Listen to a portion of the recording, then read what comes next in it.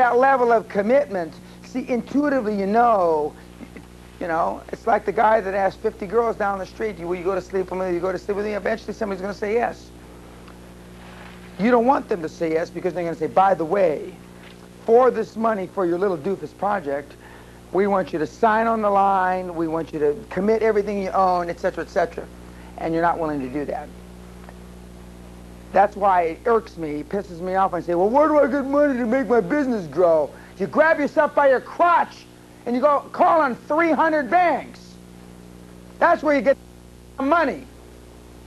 Not going to seminars, oh, where do I get money to make my business grow?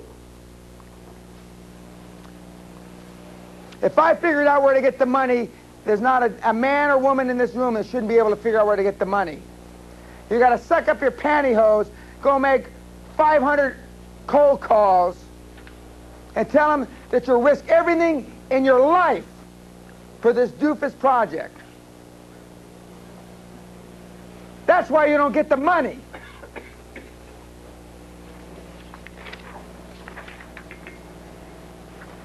I might as well be putting it upside down because you know you're going to call these people anyway. Doesn't make a shit. Doesn't make a shit. Doesn't matter. Doesn't matter. I mean, it doesn't. Just remember, it doesn't matter what the morons say. I might as well put it upside down.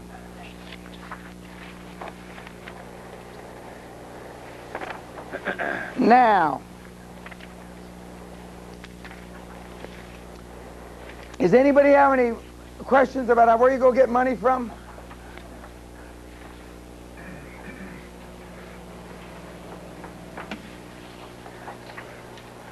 You know, we ought to start a seminar.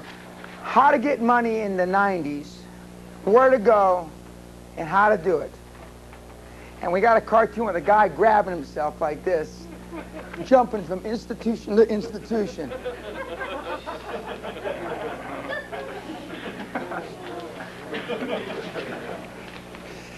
Now, do the midgets talk like that? No. They can't jump like that. yeah, they can't. No matter how it, how easy it is, uh, easy it might be, never accept short-term solutions to long-term problems. I've said this, I'm just going to say a couple more things. In 1982 and 1983, I ran out of money. And I was calling institutions, but I still ran out of money. And I came this close to selling 50% of my company for $250,000 in 1982 and 25% of my company for $250,000. I got it wrong.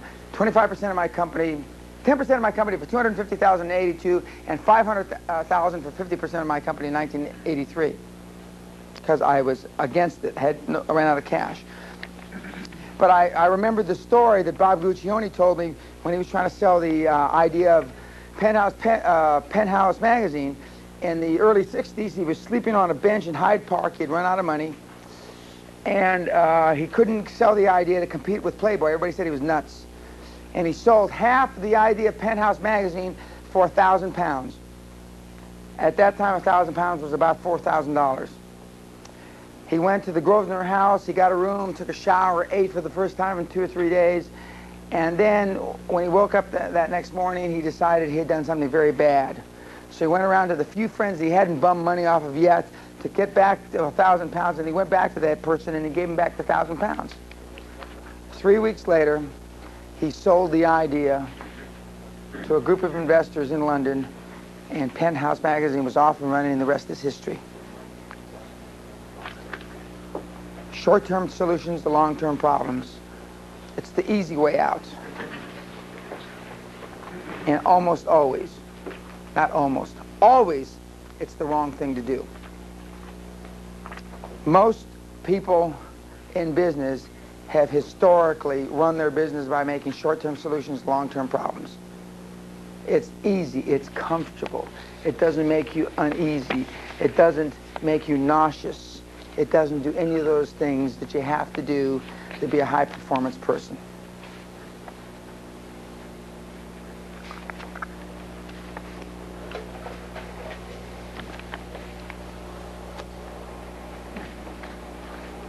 A guarantor is a fool with a pen. I say that, but for every company in this room, I, I, unless your companies are bigger than, and I looked at all those numbers, the bank's always going to want you, almost always going to want you to be a personal guarantor. Always. And if you think any different, you're not going to grow. I was a personal guarantor until we were public one year because I always had deeper pockets than the company. When the company had $30 million in the bank, the bank let me off the hook. The company did because the company was the guarantor. But, you know, prior to that, they didn't care. They always wanted me on the hook. So if you're not willing to do that, then at this level, unless you get a joint venture partner. Now, what should be coming, um, hopefully, obviously clear to you, is the partnering up. You're able to spread and limit some of these, these risk factors that make your private shrink up.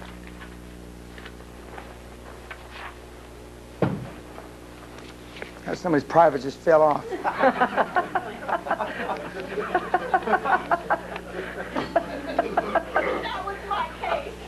Yeah, well, I didn't say whose private it was. I mean, so it should become obvious to you that the reason that a lot of people joint venture is to diffuse this this this challenge, this problem that we have of getting over the fact that laying all our life on the line. Whether you're it's a lot easier when you're 26 than when you're 36 or when you're 46 because your perception is that you got a few assets.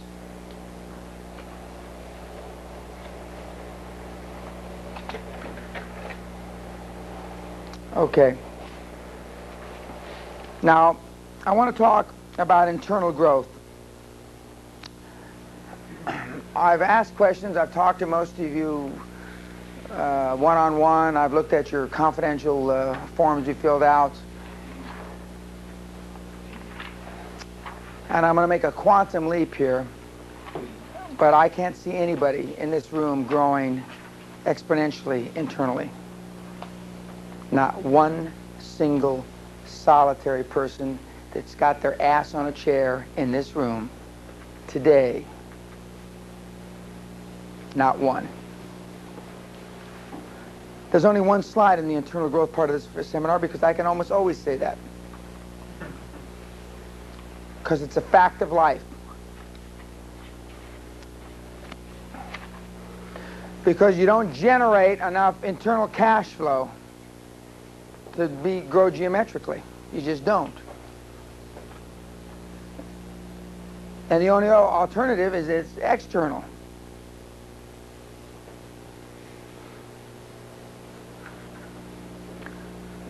Uh, where's the uh, the mic? We got to get a midget named Mike to run up and down these deals. Dan, can you explain that to me? I'm not as. No, I am. I am.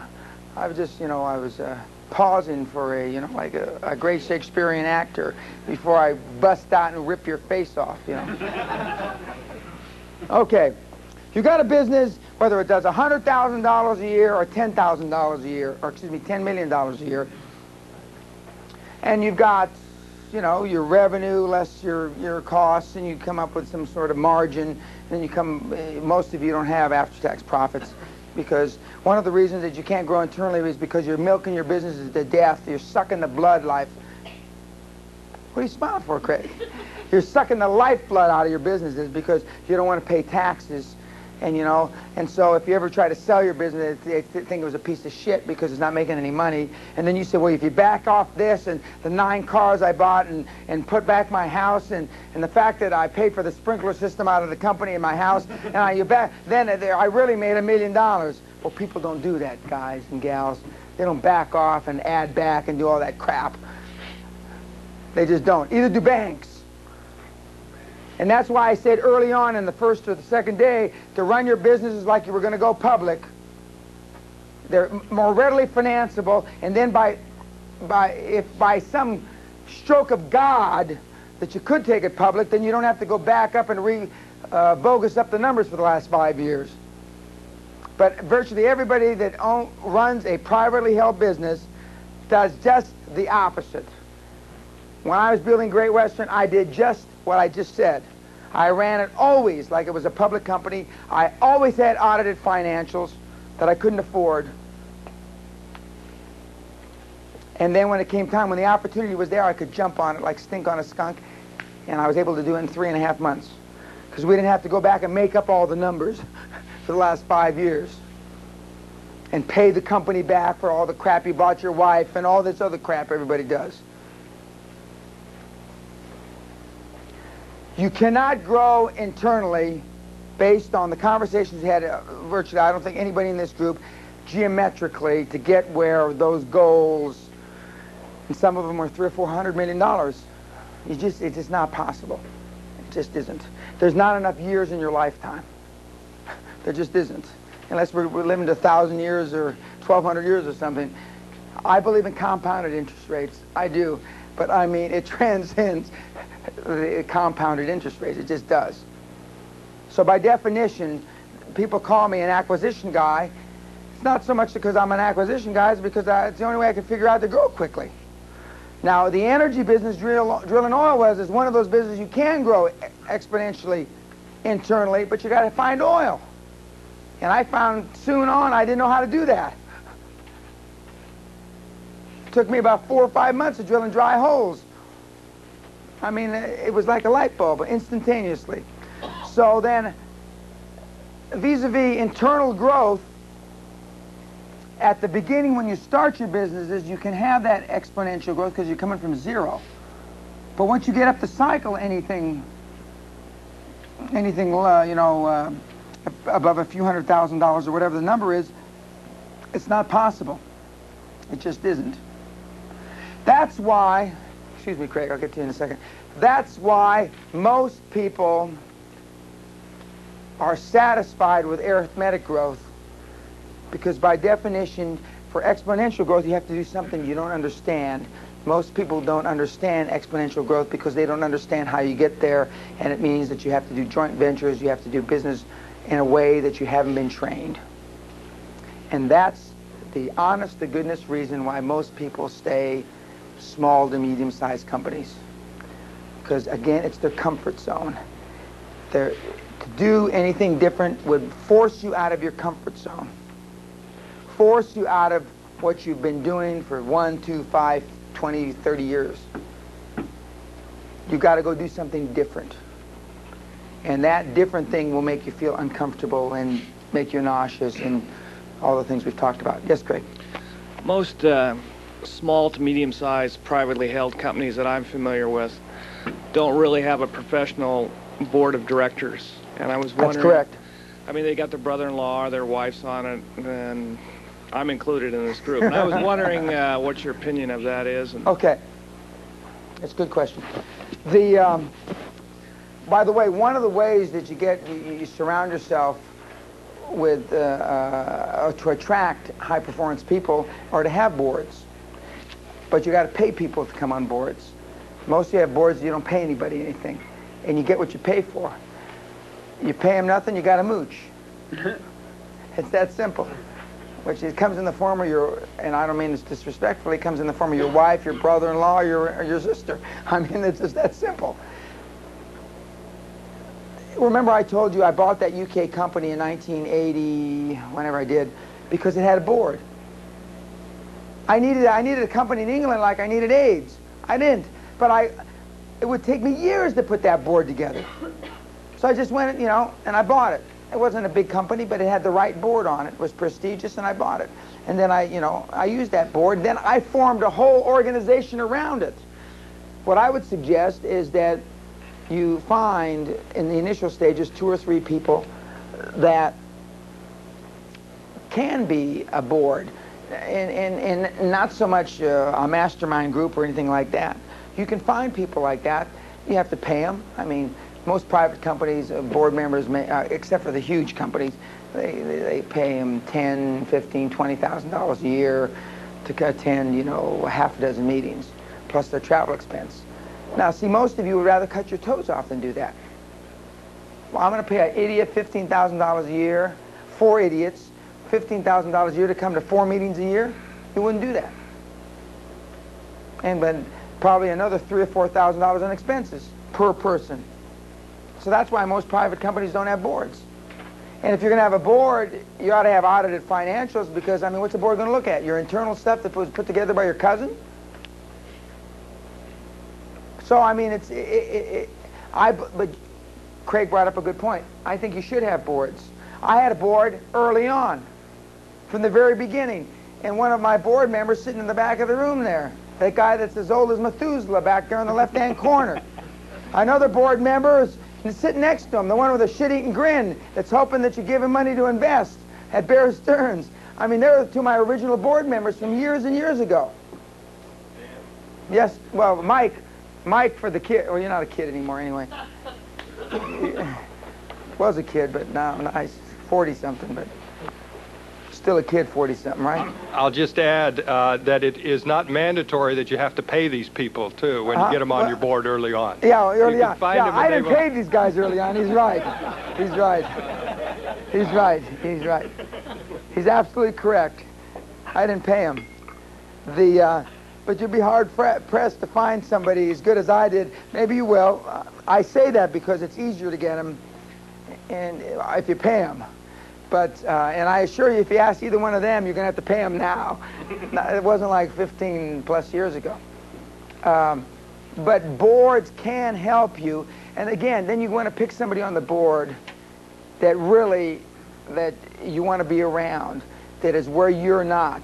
You don't want to pick a bunch of guys you went to college with, and I mean, you're defeating the purpose. You want to pick somebody. Uh, Mike, for Bruce, please. In uh, picking the board, did you give equity to the board of directors? No. When I went public, I gave options, but I didn't give equity at that time. Uh, now I'm doing it now. I'm giving equity, but I wasn't as smart. You know, I'm lucky. I bumped into some people had confidence in me uh, early on in my career, but now I give equity when I have when I form um, board members. Now I give equity away. And if you're going to pick two or three people, what uh, what are the best talents in those two or three people? I pick one from the accounting field, one from the legal field, and one from uh, the general business. And if you're going to have more than that, then I have somebody that's got Wall Street background.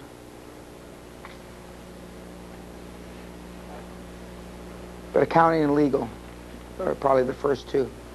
And I throw all my relatives off. Unless you're worried about a vote on the board, but if you own all the stock or most of the stock because you're not going to give any away, I mean, it doesn't much matter. You can always get rid of the board. You're the largest shareholder, just throw them out. It's not, it's, not, it's not a big problem. Any more questions on that? Okay. By definition, internal growth is most of you grow internally, not not real internally because when you borrow money, to me that's not growing internally. You call it internally because you don't have to give up any equity or anything, but I mean it's really external growth when you're borrowing money from financial institutions.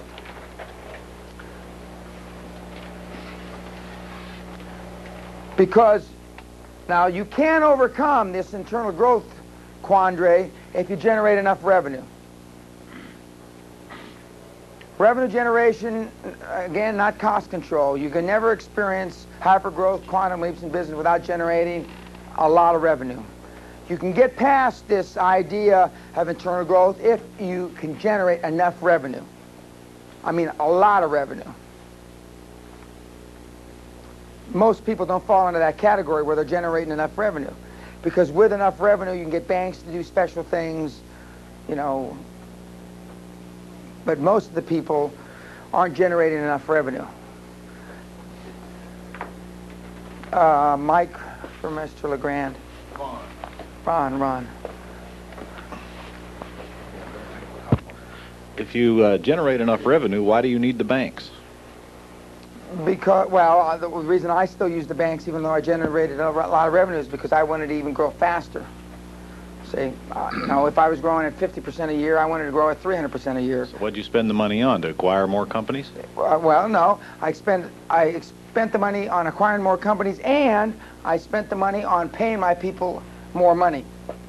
Some, sometimes I borrowed money to pay my people bonuses.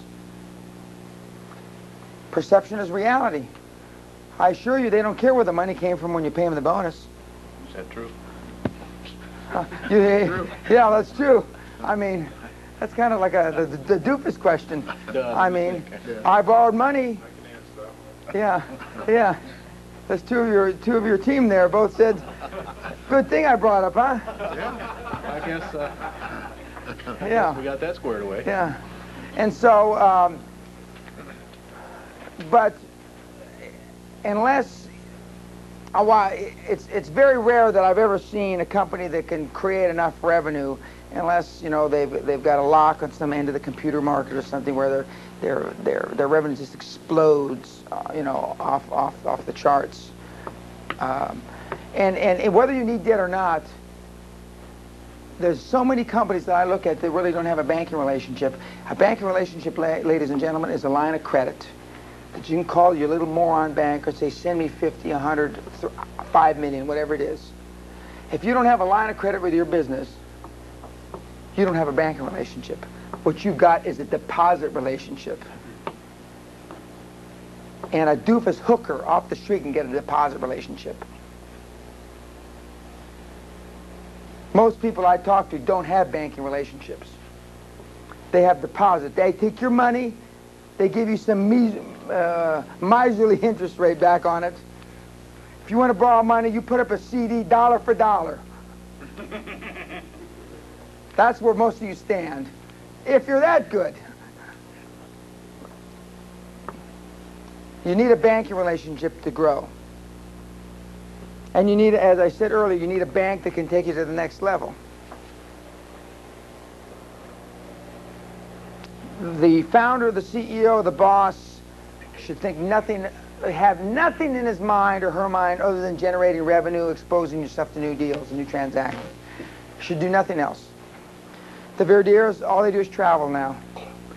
One, because George can't stand to sit in his office without screwing around with his computer, printouts of, of, of his revenue and costs and stuff. Burl doesn't even go to the office anymore, do you, Burl? Doesn't even go to the office. When I want her, I call her at home or, you know, she's traveling. Leanne or somebody told me, talk to your sister and your sister knows how to get a hold of you.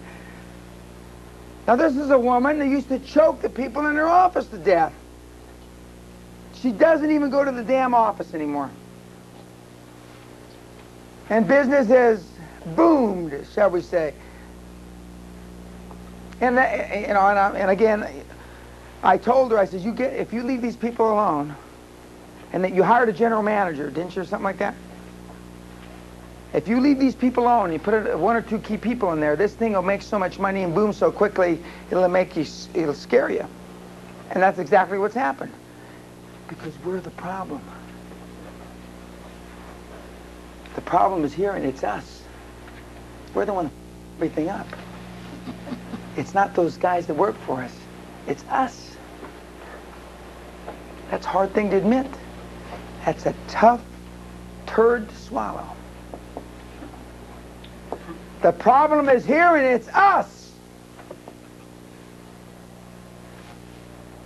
And it is. Believe me. I don't know.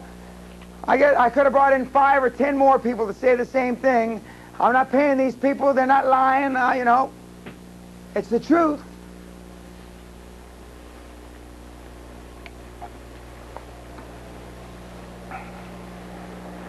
Penyism. All managerial performance sins shall be always be forgiven during periods of rapidly increasing revenue streams. Always. You can never have too much revenue. I made some of the, the, the most horrific managerial mistakes in my career. But when re- you know when revenue went from five million a month to ten million a month to fifty million, didn't matter. Banks didn't even care. Dan screwed up. He shouldn't have bought that drilling company. Fine, dump it, blow it out. Banks will sit, tell you, next time we'll get it right, won't we, Dan? The banks will tell you.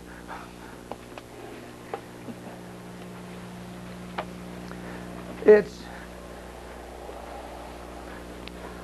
you know, like I said, the most important personnel problem we've got with your, your individuals is money. It all evolves around money. Just think, as individual entrepreneurs, how much time we think we- we've wasted, in my judgment, wasted, and hopefully by today you will agree it's wasted, on pencils, and I'm being this slightly tongue-in-cheek when I say this, pencils, bedding, paper, car leases, equipment, horse shit. I mean, just think all the time. How much equity should I give them? How much shouldn't I? How do I get it back when they, well, you know, when I got to fire them or I catch them stealing? it all means nothing. Just, but just think about all the time that we spend doing that. You know, like I, I have a friend of mine who's got a daughter. He's always she's 16 years old, very attractive, and she looks like she's 25. He, he all his waking hours and half of his sleeping hours are God. I wonder if she slept with somebody. I wonder if she's taking. breath.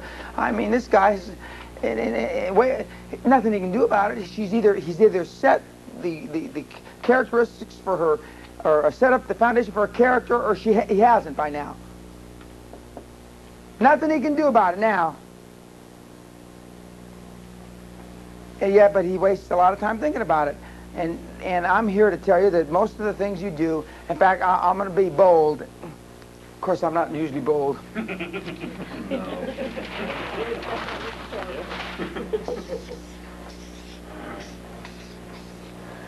Ninety-five percent of every working day, what you do in your office, in your business, if you never did it, it wouldn't mean spit. You've got people in you, to those, for those of you that have employees, you've got people in your organization that can do it better than you.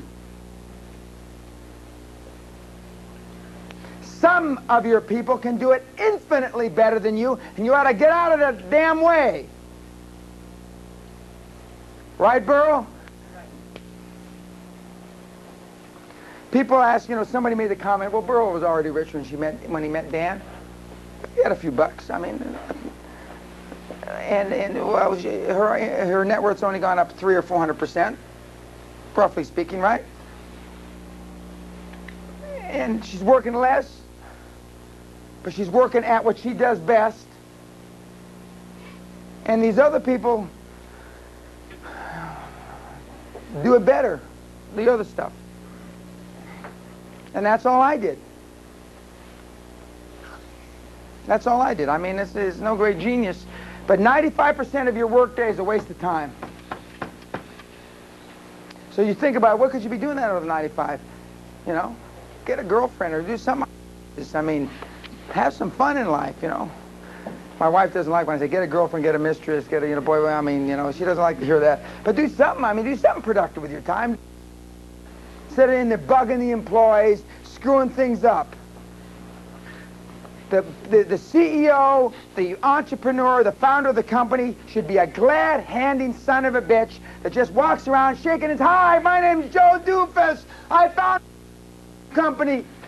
Wendy's, the chairman, the former chairman of Wendy's, that fat moron that does the commercials. That's all he does. Hi, my name's... That's all you should do.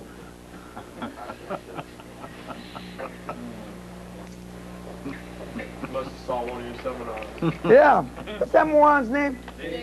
Yeah. Oh, when did you? I love that guy. I love that guy. You know? Now, the company, when they bought him out, that was smart thinking what they did. Of course, the last few years, I'm told, that's all he did. I mean, the senior manager said, you got to get out of here, Dave. I mean, you're screwing the business up. We're going to try to pump this baby up like a show dog and pump it out to somebody, but we need you out of the door to do it. And that's what happened. So what happened? He out- he sold. co- They sold it. to Who they sold to? Part. He's still a large shareholder. Yeah, but who, who's the major shareholder now? Uh, somebody. But I mean, Pepsi or somebody. I mean, he got out of the way. Okay.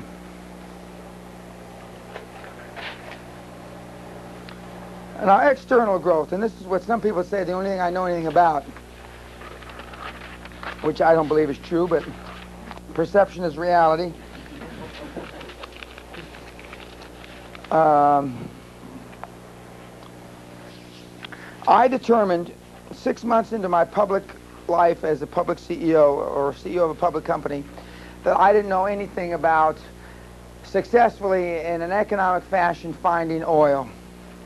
And in fact, Mr. Orman's nephew, who was on my board, a gentleman, a very bright guy named Wayne Phelan, who is a very bright petroleum engineer, who's still on the board of Great Western, came to me and because, or actually, I came to him. I says, "Am I reading these numbers right?" He says, "Yeah, Dan. I, we got to sit down and talk about this because the reserves that we thought were there aren't there in the, in the DJ Basin." And he says, "We're going to run out of money in between 15 and 19 months, and we'll be out of business in 20 months." I said, "Well, good. We just had a public offering. We just raised a ton of money to drill all these wells up there." So we're in a board meeting, and I'm sitting down, and. Um, I made an instant decision. We are now going to be an acquisition team. Notwithstanding, we don't have all, a lot of acquisition guys on here, but we're going to become an acquisition team because I'm going to take this $10 million that we raised from the public and we're going to do acquisitions. And the first acquisition we made was Whittaker Corporation, which is a Fortune 500 company here in Los Angeles. Uh, we, we bought out their oil subsidiary in, in uh, June of 1985. But anyway, so but I instantly understood that we didn't have enough money. I could read the, the charts, or Wayne helped me read the charts, and I could figure out that the oil wasn't there. We had the, one of the finest petroleum engineers in the country tell us that it was there. We raised money on it. City, I mean, everything was done right, but it wasn't there. It's not an exact science. Now we could have continued to drill, drill wells, and I could have continued to not want to swallow my pride and go begging on my knees to the shareholders, which I had to do, which I did many times. The CEO of the entrepreneur is the one that's got to go begging when things go wrong. And God knows, I, I got calluses all over these knees. They're a little softer now because I haven't had to go begging recently, but it'll happen again. And we changed investment, uh, our investment direction. Just we made a quantum leap. We're doing. We had just. I just made like 60 presentations to institutions, telling them we were going to do this. In August of '84 and in October '84, I changed my mind. I just flipped around, and we're walking this way now. and I still remember Governor Hugh Carey, God bless him, he stands up, and, and I also cut salaries 40%. I, I take, took all the cars away from everybody, expense accounts away from everybody, everything. And Hugh Carey and Bruce Patterson, uh, Hugh Carey, former governor of New York, Bruce Patterson, former treasurer of Royal Dutch Shell, got up and they both made impassioned speeches about this is a bad precedent to set for the shareholders, to show them how wrong we could have been. Now, I owned 60% of that public company at that time. This was this is Dan. Every dollar I spent, I looked at 60 cents of my dollar. And Charlie and Mark owned 15%. So we, as far as we were concerned, the shareholders only owned 25 cents every dollar here. So it's our money. So we said we're going to flip it around. We're going to change, and I cut salaries and threw everybody's car, got took it away, and we decided got, decided to go on the acquisition train because we could not grow. I, I had been given a mandate, and basically, ladies and gentlemen, your mandate, in my judgment, is to grow your company as fast as humanly possible. If not, you shouldn't. You don't have to go to work every day. If you if, if, if going to work every if you have to go to work every day to maintain your company just so it stays where it is today, then something's wrong with it. You ought to get rid of it, fall under a bus, or do something. I mean, so my mandate was that to grow a company geometrically. So I said the shareholders don't care how I do that as long as I do it. So I decided instantly that we were going to do it by external growth, and by external growth, that meant ultimately debt and making acquisitions. Now, we've already gone through the names where you can go borrow money all over the country. It's not that hard. In fact, it's, it's almost like opening the yellow pages and going down and just making three appointments a day. Get your good business plan. You can do it on Lotus. Well, I don't know if Lotus 123's got a bit, but you got software to do business plans now. Pretty sophisticated ones. And you pack about 40 of them in your car and you just start pounding the streets. For those of you that aren't willing to do that, then you wasted your money coming here. Oh, Mike, Mike, Mike, for Mr. Hoffman. Mike. Huh? You don't, you, you don't obviously believe in when, when a company goes out of business and somebody says, well, they, they just grew too fast. That's, No. That's, that's what happened. No, that's an excuse. They went out of business because of mismanagement. I've never seen a company that grew too fast. They went out of business because they grew too fast. I've only seen companies that were mismanaged. Because you've got to be able to manage rapid growth. And managing 25, 50, 100% growth a year is a lot different than managing 2% growth. Big difference. Big difference between not playing to win and not and playing not to lose. Big difference. And that's why I said joint ventures, you got to find somebody. You can grow geometrically, exponentially without somebody that's been there. It's harder. It's not impossible. But if you're willing to make the mistakes along the road, then you can do it without on your own. Make a lot of mistakes. Make a lot of decisions. Open a lot of restaurants that fail. Open a few that are super successful.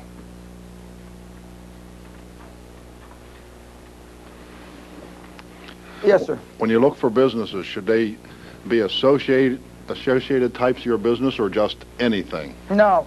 My, well, I used to think anything, but I don't anymore because I lost, you know, like I said, I'm $40 million down here in the last few years. No, I believe they should be, have some, uh, be at least ancillary, some sort of tangential relationship. So there, and I don't like to use this word, so there's some synergism. I'm not sure I know what that means, but I know everybody uses it. So there's some synergism. I don't like, you know, businesses are way off in the, you know, in Lapland and the, uh, right now, because I'm in the fire resistance business, uh, making fabrics by uh, molecular changing the, changing the molecular structure, we're looking at other things that are related to fire protection, fire resources. Well, that's the name of the company, Fire Resources, because they can be all kind of wrapped up together because I'm in the what I call the business success coaching business, we're looking at the things that are, you know, books, tapes, TV, that are, you know, have something to do with that. Uh, Mike for the young man over here. Uh, you alluded to several times about how you change the relationship around when you see a banker. You don't Mhm. go at them the conventional way. Because so far, I've only heard the conventional type way. How do you, how do you turn it around in terms of you're coming to them asking for something that their attitude? How do you make? Okay, that's a good question. We're going to use Burl for an example. One example. I'll, I'll try to give a couple more. When I first met Bur- Burl, I had already told you that she had never been turned down by the Royal Bank of Canada in 25 years, which I was stunned. I, I think I almost fell over when she told me. And I said, well, you're obviously not uh, asking for anywhere near enough money, for starters, I mean. So the when, you, when, when you're when you're getting ready to, to change your relationship with your bank, first of all, most of you are dealing with a bank you shouldn't deal with, so I wouldn't be wasting my time changing the relationship with the, the doofus bank you're already doing business with. I'd go find me a bank that that can take you to the next level. So everything I'm about to say, don't unless you're dealing with already a huge bank that can do that. Uh, just you're going to use this on somebody else. The banks basically, in today's environment, want deposit relationships, and they're forced to do debt relationships. But everybody's scared from what happened in the 80s. So, to, to sweeten the pie, like I just renewed a loan that I had, I rolled over for another two years, not because I couldn't pay it off, but because I wanted to maintain the relationship with the bank. I wanted him to be able to be happy, and I know that he was charging me three over prime, which I'm big enough I don't have to pay three over prime. But I wanted to set him up for the next time I need to use him. So I roll this, you know, this loan over, paying interest when I don't have to. That's one of the first things. Pay interest when you don't have to. Second thing is, don't don't don't bitch and complain about fees and stuff like that. If the difference between one over prime and three over prime kills your deal, forget the deal, shit can it. I mean, you shouldn't have to. I mean, the deal shouldn't be that tight. If you're in a deal that that's tight, that tight, that means there's no margin for any mistakes whatsoever. And we already know you're going to make mistakes, and we already know the doofuses that work for you are going to make mistakes. So you've locked yourself into a recipe for failure. If the deal's so tight, the difference between 1 and 3 over prime makes a difference, something's wrong. It's absolutely wrong. Because you're going to make mistakes. I make mistakes all the time, so if I make mistakes, God knows everybody else is. Okay, so don't argue about the fees so much, you know. Tell the guy or the gal that you, you're, you know, you're changing banks because you've outgrown this bank. This bank can't take you to the next level. Everybody hears that. And it's true a lot of times. It's important to leave your other bank on a good relationship. Not that, you know, that the guy's badmouths you when the guy calls and says, you know, a way to do that is leave a little money in the bank. Because he knows when you leave that little money in the bank and you're taking your banking relationship away, there's only one reason you're leaving that money in the bank. Come back. Maybe. No. You're leaving that money in the bank because to soothe the cut around his throat you just did. and he'll appreciate that. And he'll talk so good about you. Oh, this guy, this guy is a prince among men. Instead of this, lay it on his lawn, blah, blah, blah, blah. Okay, that's, that's how you start. Now, see, and, and you're doing something, this is against conventional wisdom. Why would I leave any money with these pricks when I'm not going to do business with them anymore? Because you don't want them to cut your throat, that's why. Now, when you're big and you're moving 80, 100, 400 million dollars, you can do, yeah. But nobody in this room has fallen into that category, you know. I called the president of um, Chemical Bank and I said, uh, I wish we had the kind of uh, phones where you could tell, uh, I, you know, with TV screens, so you could see this. I'm taking my $85 million out of your bank and I hope you're in hell. But, I mean, I'm not suggesting you do that. I'm not suggesting, you know. So, that's for starters. Secondly, you, you come to him with a cogent, intelligent, well thought out business plan. And you don't even have to be that smart. You can do this on software. They got all kinds of software now, I'm told. I don't know how to do it myself, but I know you can put together a business plan, a fairly copious one. I mean, in not too much time. Plug in the numbers and they, they pump them out. Instead of the, on the back of a yellow pad and, I mean, like Burl does. But Burl's got a lot more money than most people in this room, and she's got a track record of 20 years of doing this. Big difference. Okay. Next, you always ask for three to five times more of a line of credit. First of all, I'm coming here because I need a, a line of credit. I don't need someplace to hold my deposits. I can do that in my tin can in my backyard. And for the interest rate you're giving me, I might as well keep my money in my tin can in the backyard. You're going before a relationship. That's a great word. They like. I want to build a, a strong relationship because it's now called relationship banking. Hey, Jim, do they still call it relationship banking? Yep. Yeah, it's a doofus term if I ever heard one. Some MBA moron came up with that deal. Because I want to build a relationship because I'm going to be here long term. You're going to be here long term until they stop funding your deals and you're going to go someplace else, but you don't need to tell them that. That's long term to you until they stop funding your deals. Then you're, I mean, like, don't let the door hit you in the ass on the way out. So you, you, you're asking for three to five times what you want. They'll agree on some number that's probably, a lot of you don't even have lines of credit. So, I mean, they'll agree, they'll, they'll ultimately agree on some number that's infinitely more than you think you can use. You always want a line of credit much larger than you think you can use. And then, believe me, I, I'll show you, you know, you'll learn how to use it. Because what you want is you want the ability when a deal comes to you, you can commit to it. And the one of the reasons that we were able to, go, additional reason we were able to grow so fast, is I was able to make commitments like this. Because I knew I could put the interim financing together myself through my own cash and lines of credit. And then I could go put together permanent financing later. On a smaller scale, you can do the same thing.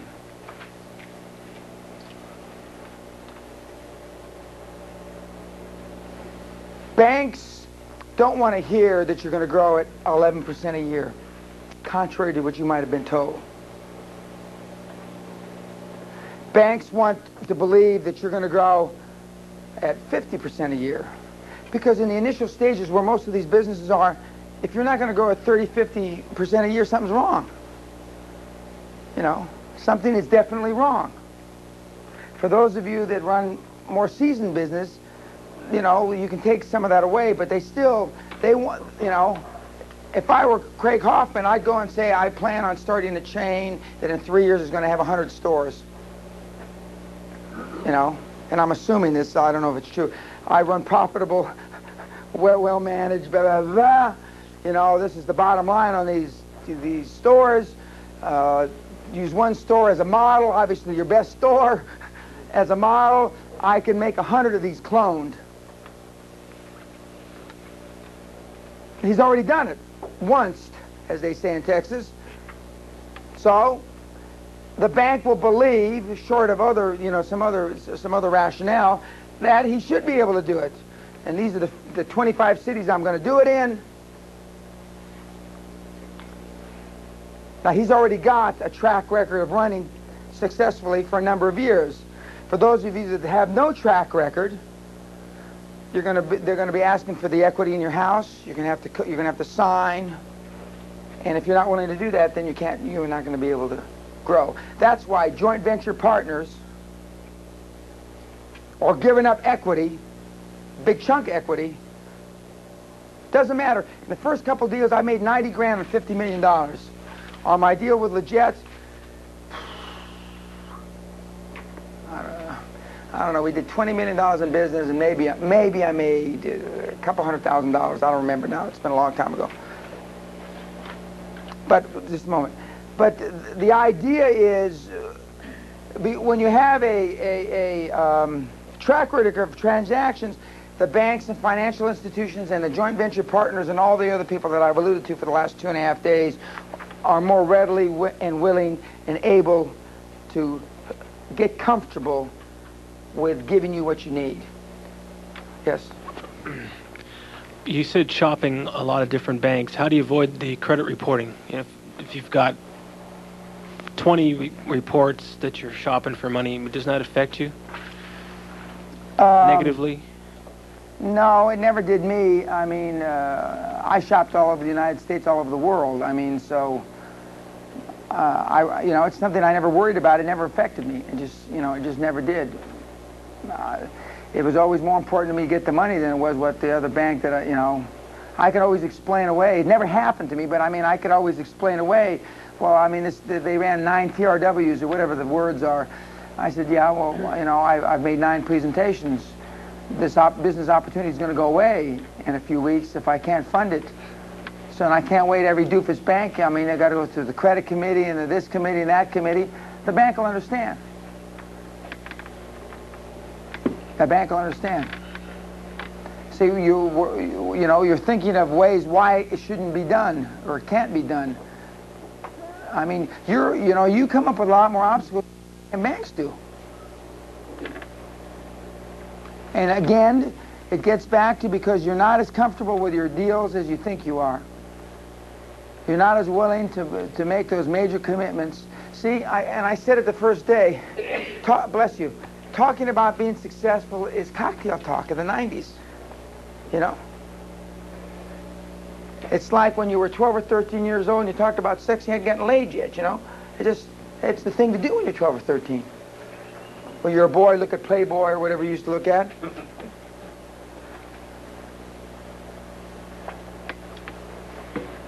And if you're not willing to do that, I mean, then all the grandiose things that I can talk about that have worked, you know, and all the half a dozen people that we've talked to up here that are testimonial to, you know, that, that it works, at the end of the day, you, you still have to be willing to pay that price to action, make that commitment. Okay. Did I answer your question about the banks? Okay. Any other questions so far? Does everybody understand how what I'm talking about applies to them Okay. Now. Oh, uh, ma'am. This isn't exactly on the track, but it has to do with borrowing money. I'm Mhm. just curious to know how you managed to get 11% financing, 1100% of financing on that castle. I put up, um, how many millions of dollars? Let me think. I put up a collateral outside the bank, outside the actual castle and the grounds and the estate. Um, that more than amply covered the, the, the, the coverage that they wanted. That's how I got 11%, 100%. Guaranteed. Oh, I guarantee. I have. I've had to guarantee every single thing I've ever had. When I when I when I borrowed 120 percent of my Houston house, I guaranteed it. I mean, it goes without saying.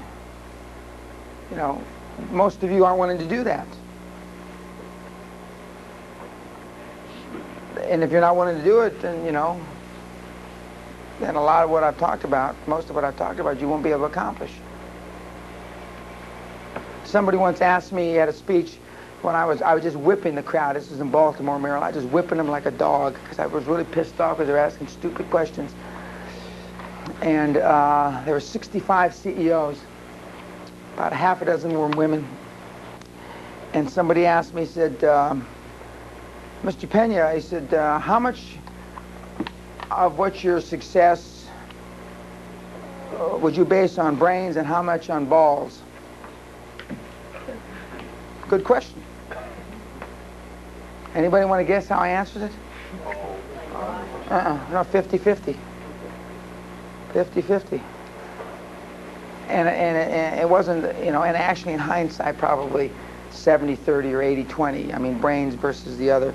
And because when you're really committed about something, you actually believe it's going to work.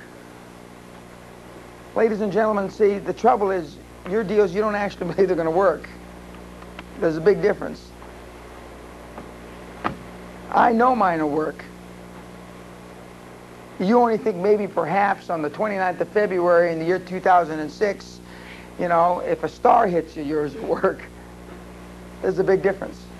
And the reason my do work and Rick Scott's work is because they believe. Rick believes. Rick believes he's going to control, you know, by God he is. Little skinny doofus that he is, you know. But if you don't believe, you know, at one time, I, I don't know if everybody did, believed in Santa Claus, but I know I did. And I believed in Santa Claus till I was 11 years old. You know, and and and uh, I wanted to believe. My kids don't believe in anything. You know, they believe in uh, they believe in dollars and cents and pounds sterling. That's all my kids believe in. But if you don't believe in it enough, you know, if you're that kid in the sandlot, throw it to me, throw it to me. If you don't believe, your hands are going to catch the ball, by God, you won't. Self-esteem is the basis for excellence in business. You know, all the rest comes after if you don't believe. If you're experiencing no anxiety or discomfort, the risk you are taking probably isn't worthy of you. The only risks that aren't a little scary are the ones you've outgrown. A high comfort level provides solid evidence that you're playing it safe, not growing, not really testing your limits at all, and not in the process of a quantum leap.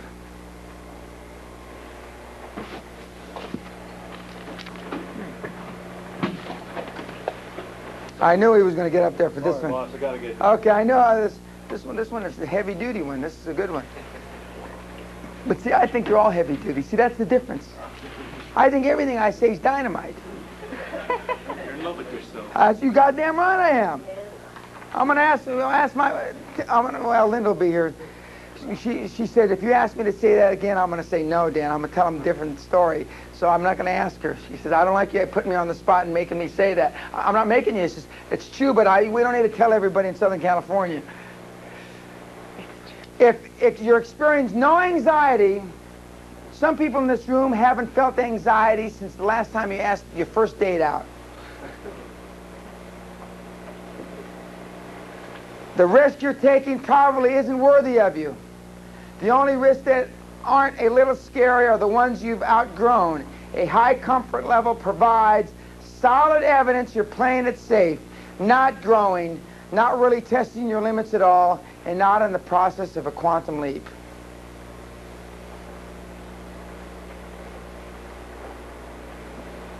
It's natural to want to be in the tummy of the kangaroo, the mommy, you know, and they're nice and warm and cuddly. But that's not how you grow a business. In battle, it's a lot, lot easier to sit on the bottom of the foxhole, you know, watching the things go over your head. It's a lot easier than popping your head up. It's a lot safer. Not many battles won that way.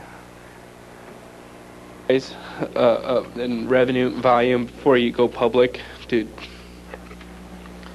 No, it, well, it depends on the industry, but I mean, um, I've heard people say you have to be up to like 50 million before they start to look at you and stuff. no, you can be public on, uh, because we're at the top of the, the bull market, there's, uh, you can go public on regional exchanges, I mean, uh, Denver Exchange, the over-the-counter market, uh, there's, no, that's not really true. Um, if you want a, a, a listing on a major exchange and you want to be brought public by a major New York investment house, then you're going to have to be a fairly sizable company.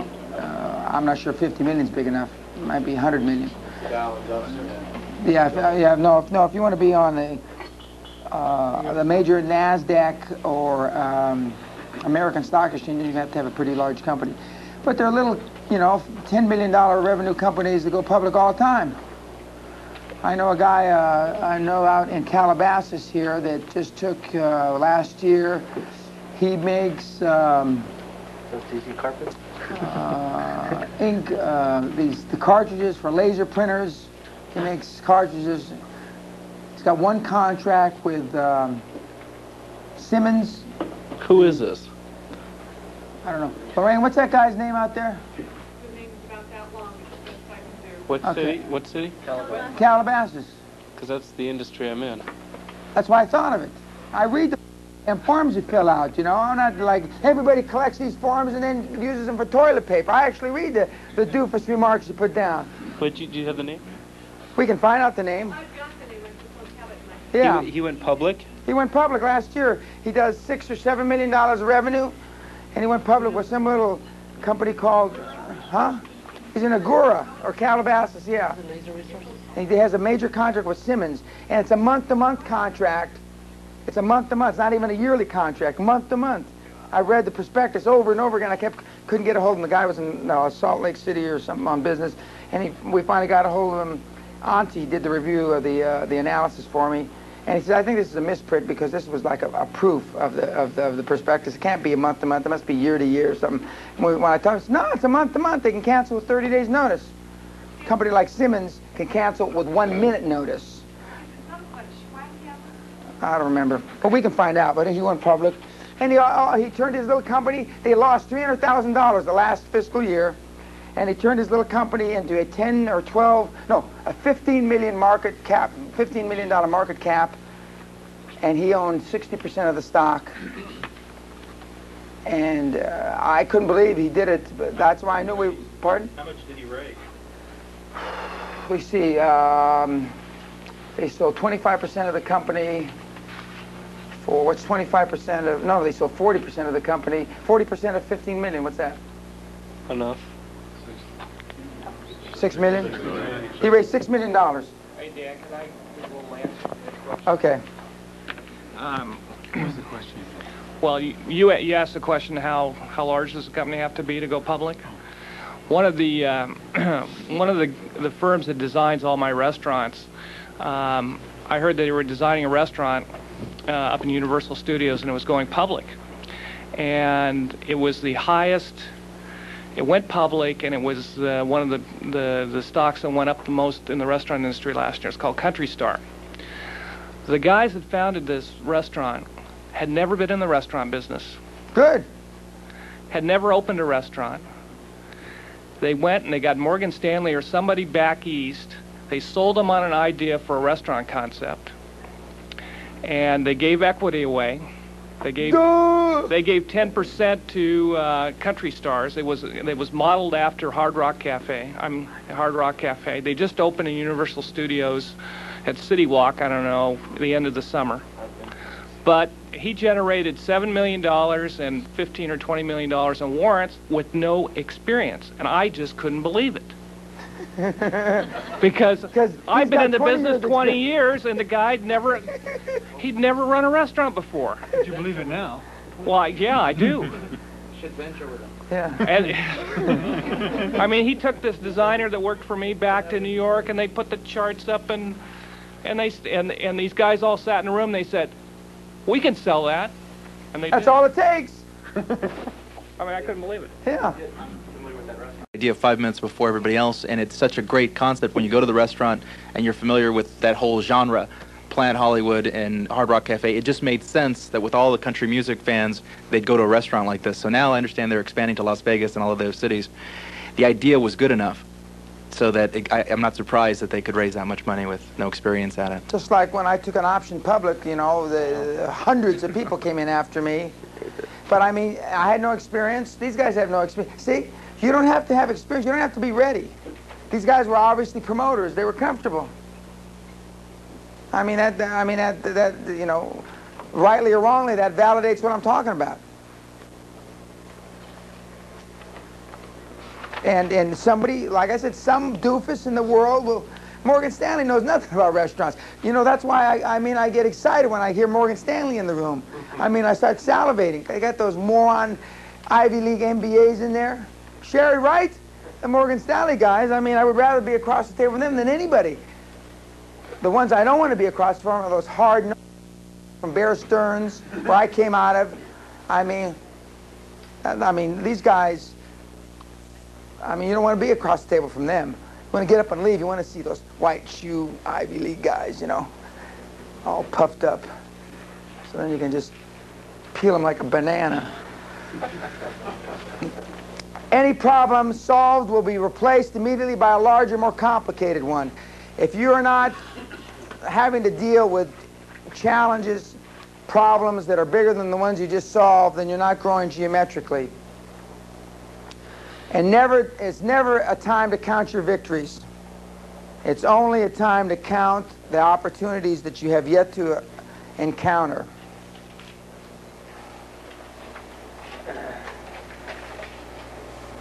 As Jonas Salk, this is what I tell Lorraine, Lorraine doesn't like this. As Jonas Salk said, the reward for work well done is merely the opportunity to do more. That's the, all the thanks you get. The opportunity to do more work. You like that one, didn't you, John? Jim? John's blanching up here. The reward for work well done is the opportunity to do more work.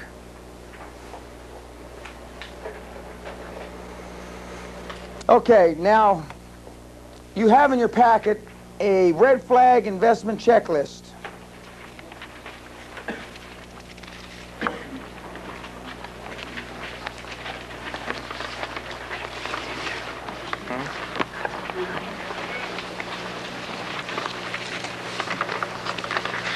Okay, while you're looking for that, somebody placed an article up here. Um, I don't know if it was Jim. This an article. Is this from the Journal? Yeah. From the Wall Street Journal, today's Journal, and the uh, title of the article is "Golden Touch." New entrepreneurs offer a simple lesson in building a fortune. What do new What do new super rich have in common? Guts and ideas of convenience. And it gives examples, three or four examples, how guys with no experience that were basically morons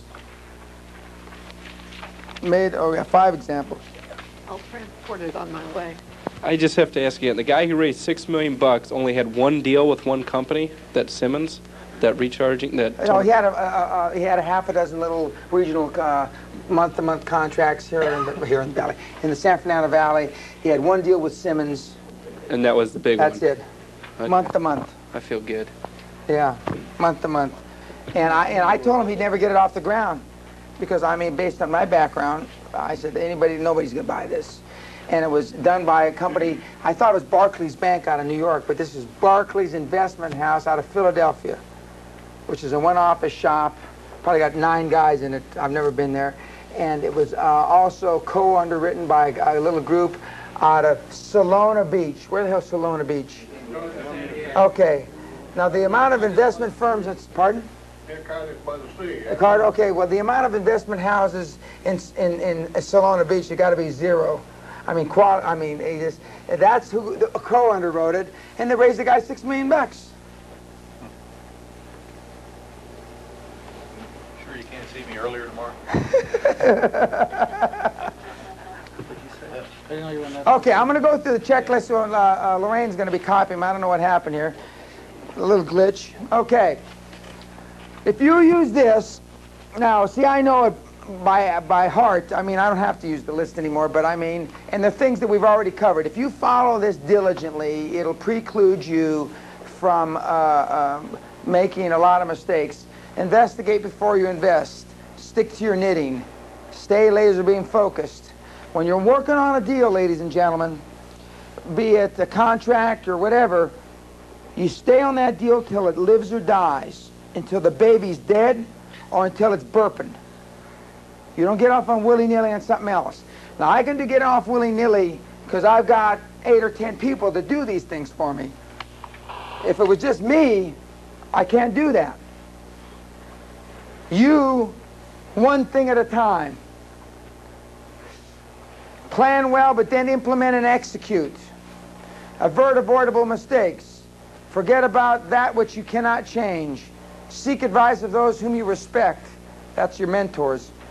Dedicate yourself, dedicate yourself, dedicate yourself. And in the words of Winston Churchill,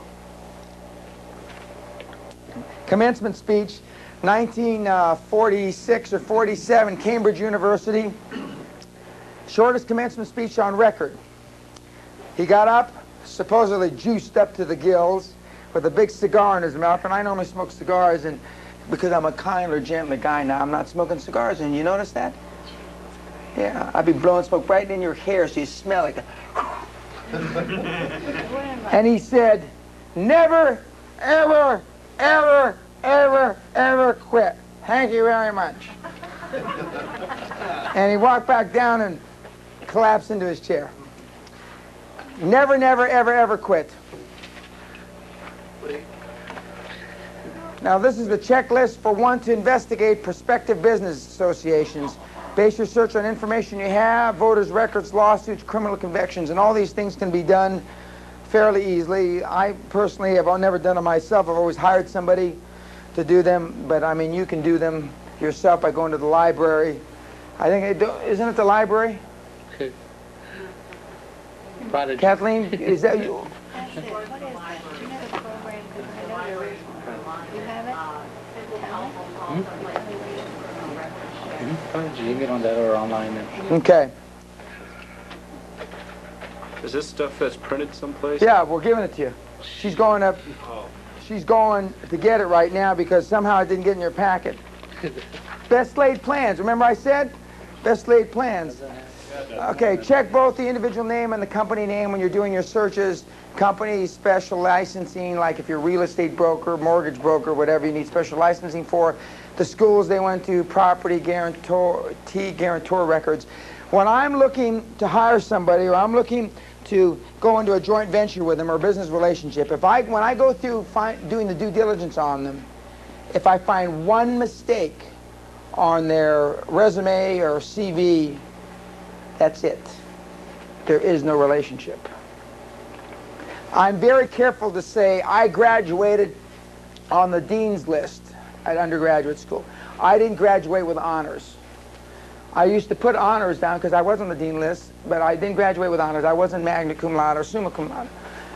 And so uh, if you put down you went to Harvard, you better, when I, we call Harvard, or you went, you know, you say you were at Oxford, I've been at Oxford. I walked across the Oxford campus.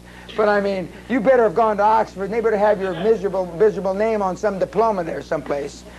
And if you if you if you allude and you say, you know, like there's an MBA executive course and there's a five-week or nine-week course at Harvard where you get some kind of doofus certificate, you better make sure I understand it's that doofus cer- certificate, not an MBA from Harvard. And I mean, and uh, because to me that is a show of integrity. It's also a show that you lack self-confidence in yourself because you're not. You have to make up things about yourself. And I just won't do business with anybody that falls into that category. That's a personal thing. It may it, not necessarily. I can't speak from the mouth for the South and all these other guys, but I can tell you, for me,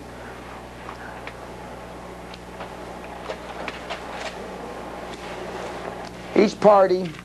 Now we're talking about external growth still, remember? And that's why we had the checklist up there. Now, in external growth is going to be the active acquisitions. And in acquisitions, you're going to have to learn to negotiate if you don't already. You know, some of you in the room probably already think you know how to negotiate. Um, and each party to every negotiation has a comfort zone. The effective negotiator is one who can define the boundaries of the other party's zone and place the deal at the boundary nearest to its own interests. Now, in your cases, almost under any circumstances, it's better to give on a negotiation and get the deal done than to get the best deal you can. And um, because, i.e., you know, when you're negotiating with a bank, yeah, the next sheets, the other following sheets are coming. If you're negotiating with a bank, I mean, the difference between one over prime and three over prime is nothing. You just get the deal done, just get the money. My, my theory in, in building a company has always been just get the money. Under any circumstances, just get the money. No matter what it costs, just get the money. Like a broken record, no matter what it costs, just get the money. Just get the money and make the fees continue with, with your lawyers and accountants contingent on them making sure you get the money. Just get the money. Just get the money. I mean, you never see in all these uh, big uh, transactions, uh, they never say that they're paying one half under prime, one over prime. They never list the interest rate, do they? Because nobody cares. Just get the money. Just get the money. Nobody cares because it's not important as my grandmother, who's uh, in expiring right now at the age of 92, would say, because it's uh, it's only a little bit important. It's only a little bit important, which means it's not important at all. It's not important, and only little people worry about things that are a little bit important. And when you're a little person that worries about little things that are only a little bit important, you stay a little person. And that's not what the seminar is all about. The seminar is all about growing exponentially and hunting with the big dogs. And for those of you that are from the South or any of those areas, you better appreciate hunting with the big dogs, what that means. What'd you say, pee in the what yesterday? Tall, tall grass with a big dog. Yeah, pee in the tall grass of the big dogs. I like that. Yeah. Not before you. Yeah, pee in the tall grass. My housekeeper, who's a black woman, um, Ruth Brooks, who uh, is from North Carolina, and, and she picked tobacco. She says these you know, these these kids, these also rans that pick cotton, that ain't nothing. They're picking tobacco. And uh, her husband died during the Vietnam War, and she's put three girls through school, through graduate school at USC. One, I think one's a dentist, one's a teacher, and one is the aide to uh, Janet Reno at um, uh, whatever the hell Janet Reno does, uh, Attorney General. And uh, Report illegal aliens. yeah, that's right, man. But, and she says, she says, when I used to have my young students over, and when the when the the young uh, kids have come over to visit me, she doesn't like kids much because they all wants to get paid and nobody wants to work anymore, Mister. Now, I still haven't forgot that question you're going to answer. You know, I probably let your lunch settle too much before you're going to toss it up on the table now, but. The dark side of equity financing. If you're going to have external growth and you're going to use other people's money or you're going to use the bank's money, there's a dark side to that. If Craig Hoffman took his operation public, which he's, uh, although, uh, you know, a lot of smaller operations have been taken public than his, probably at some point in time he'd lose control of the company and he'd get ousted out, thrown out on his ass. That's just, you know, a matter of life. That's not saying anything about his management skills. It's not saying anything about anything. But that's just what happens. That's why a lot of guys don't go public. Because, you know, what am I going to do? And I took the attitude, I'm going to, what I'm going to do is I'm going to count all the money I got. And I'll spend the rest of my life counting all my money. Now, but you have to realize that. when you take in equity partners, that's a possibility because people that put up money will not allow you to st- stick around if when, once you've re- reached your Peter principle. Peter principle meaning the maximum that you can do. Because they're there, they're there to make money. They're not there for you to fulfill your life's dream. They're there to get a return on your money. And Rick Scott is a preeminent ender of life dream thoughts for other people. Believe me. I mean, Rick is very, very, you know, matter of fact, very bright guy. And I'm, I'm told he's, he's gotten to be a very good manager. I, I didn't know him as a manager, but. So, you've got to understand that with that money that you want more than life comes, there's another side. Everything's got a, is, is a two-edged sword. There's another side of it. So there is a dark side to the equity financing. And um, once you accept that idea that I would rather be a, a large part of a hundred million dollar company than all of a five or ten million dollar company, it's it's easy to deal with until they throw you out. Then it becomes a little more difficult to deal with. But, then you got the money. then you just yeah, that's right. You count the money. Whenever I feel bad, I stand on my wallet. You know, whenever I feel bad, I stand on my wallet. It makes me feel better right away. Milk another cow. That's right. Okay, now, managing growth and preparing for diversification. Big dreams, big problems, big rewards. Now, this is kind of a summary of a lot of the things that we talked about. Okay, closing the deal. If you're not ready to die, then you can't be ready to live. If you're not ready to do everything humanly possible, short of dying, then the chances of the deal coming to fruition are just diminished greatly. You want to simulate success.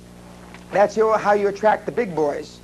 By simulating success, remember you only have one time to make a first impression. By acting successful, by hanging around with the big dogs, peeing in the tall grass.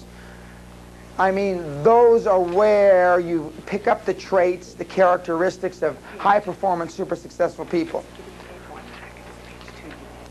The thing you've got to understand, you don't have to hit a home run every time you're at the plate, but you do have to swing. You can't just let the fastballs zip by you. You've got to swing. Sometimes you'll strike out, sometimes you'll hit a base hit or a double or a triple, and sometimes you'll, you'll, you'll knock it over the fence. Now, the way you position yourself for a grand slam only comes with experience. I know that Fire Resources and the thing that the Mosbys are running for me is an opportunity for a grand slam. I know that easily Fire Resources can have a um, in the billions of dollars market capitalization. I know that. I didn't even have to crunch any numbers. I didn't, you know, I didn't have to do any of those things because when DuPont has spent has two plants that each cost them three or four hundred million dollars to to, uh, to uh, build that just make Nomex, which is the, the competing product, and they've had a lock on the product since the early 60s, and they've said that we will viciously defend our market share, and they've done everything humanly possible to keep everybody else out of the business for 25 years, I know there's a big pot of gold there. I know that. I don't need. I don't need uh, anybody to crunch any one two Lotus one two threes for me. And that's why, when I settled up with Great Western, in addition to the cash I got, I took that patent, that oven, that special oven that we made in in Italy, and and I, I'm willing to fund it myself. Yet I'm still giving away equity. I'm sure I could find people to run it that I don't. I, and other people I don't have to give away anything. I'm sure, I'm positive I could find some guys from the, the textile industry. But I'm not doing that. Now, why would I do that when all my, well, not all, but most of my adult career in business, I've done it the other way successfully. Now, why? Some people would say, well, because you maybe, maybe you're, they're going to be billions of dollars, and you know, for every point you're giving away is a hundred million dollars, or, you know, I haven't really run those numbers. I, maybe the Mosbys have. They, they're shaking their head. Yeah, they have. I haven't run those numbers, so I don't know. You can ask Jim at the break what the, what the numbers break down.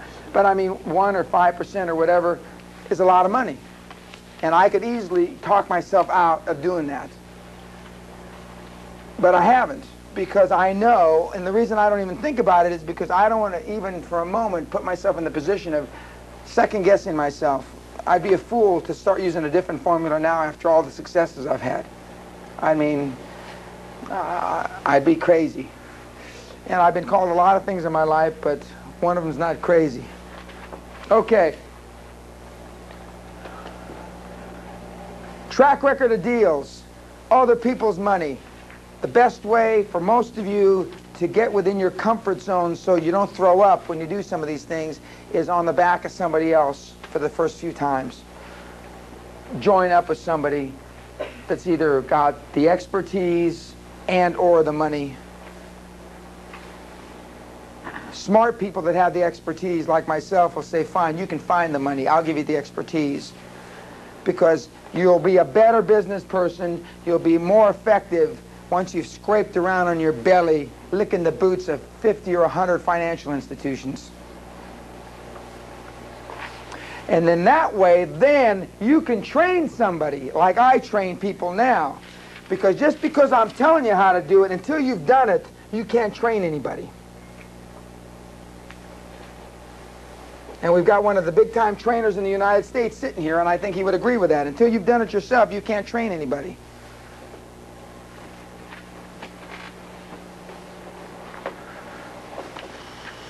We've talked a lot about, about being ready for success versus being comfortable.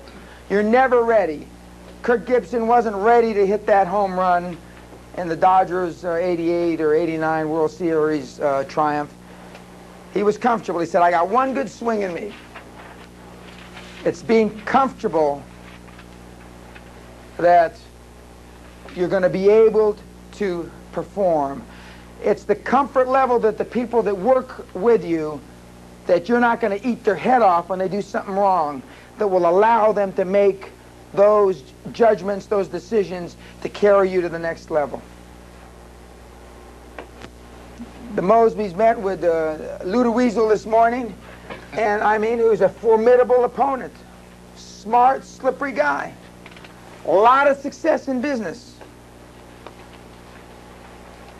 And I sent him into the breach like the Christians to the lions. And they did good. They did good. Good's a relative term, but they did good. They did good. They didn't sign over any stock to them. They didn't give them any money, so they did good. But I mean, it's the comfort. It's not the readiness.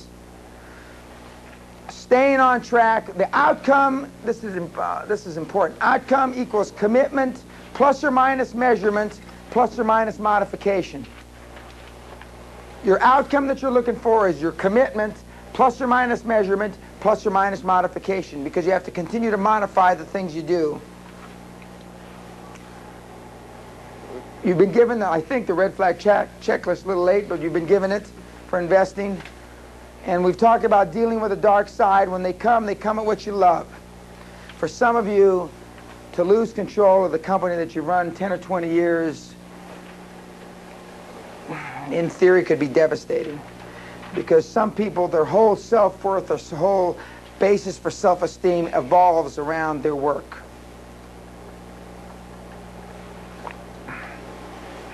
That's why people don't turn loose. Their sense of self-esteem is directly related to what they do. And if they give away what they do, they give away their self-esteem. When they really should think about, when you give away self-esteem, you build self-esteem.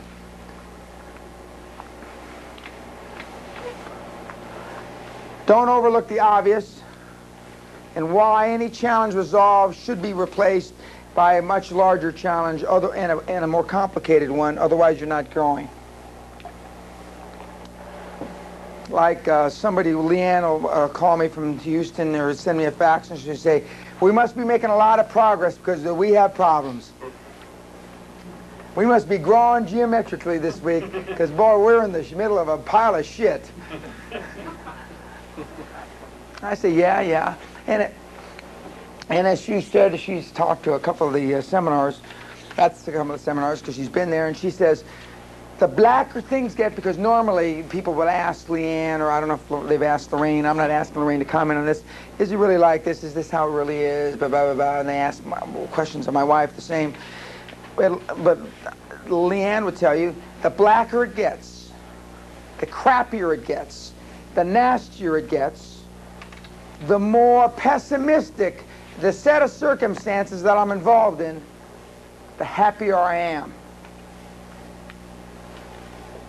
And the reason I like that is because from chaos I know comes order, and with order comes a lot of money. And I've never made a lot, a lot of money without a lot, a lot of problems. So if I'm not having any problems, then I know I'm not going to make any money. And if I'm not going to make any money, I'd rather be playing golf with Hoffman or something, you know. So I, when we don't have a lot of problems, then that means I'm not doing anything. Just the contrary to the conventional wisdom that you've been taught, you've been brought up in. Anybody have any questions on this? Because this is a, a summary of of sorts. Because, ladies and gentlemen, it's a very small step from the limo to the gutter.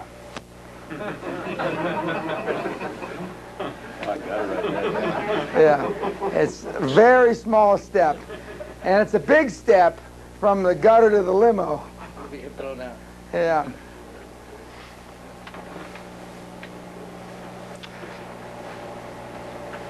You know, it's interesting. When I parked cars when I was going to high school, I used to park cars at a place called the Pump Room on Ventura Boulevard, Studio City. And when they parked a car in those days, a big tipper would give you a dollar to park his car, and, and, and uh, most people gave you nothing. And maybe they give you the change in their pocket, a quarter, 50 cents. I look at people that park cars today, and I see the money. You realize now, this when I was in high school, that was over 30 years ago. People still give a dollar. Yeah, I mean, and, and people still, some people still don't give anything. When I'm in Century City in the Twin Towers, they fight to park my car. I mean, and no, they don't want to drive the Cobra. When I pull up in a Cobra, they say, Mr. Penny, can you park right here in front? Because they don't, they're afraid to drive it because if they hurt it or something.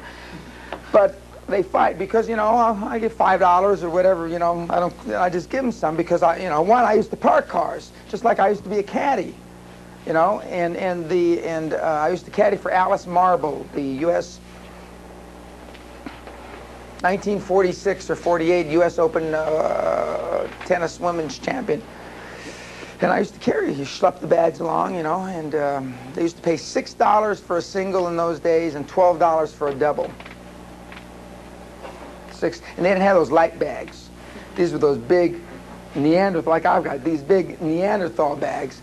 And I'd be like a coolie.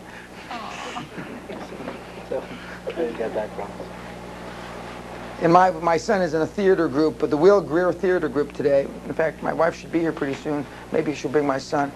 Uh, Will Geer was the guy that played on the Waltons, the grandpa.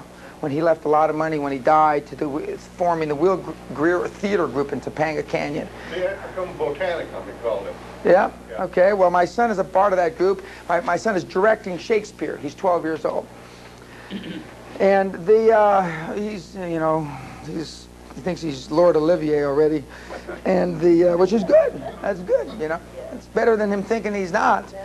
And so, uh, but um, the, uh, he has no concept of getting a job when he's 12 years old. You know, the, it's different. You know, it's a different, different life, different generation. It's wise to keep in mind, ladies and gentlemen, that no success or failure is necessary final. Is necessarily final. Whether you haven't been successful to this date doesn't mean it's forever. And to the extent that you've been successful to this date, doesn't mean that's forever. Now, I, I, I get excited when I find somebody who's like a medical doctor who's going to go out and do something else. You know, that's I think that's great. That's because he has, he's been a medical doctor a while. It's not like he just got out of his internship. I, I do believe him, unless my eyes are failing me. yeah, and but I mean that's great. Looking for new challenges. You know, most people in this room, if they were, you know, notwithstanding the way the laws have changed in medical insurance instead, you know, you doctor, you're doctor for life.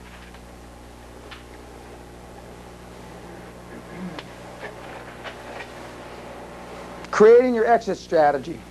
Now, before we get into this, we're going to go around. Remember the question I asked earlier?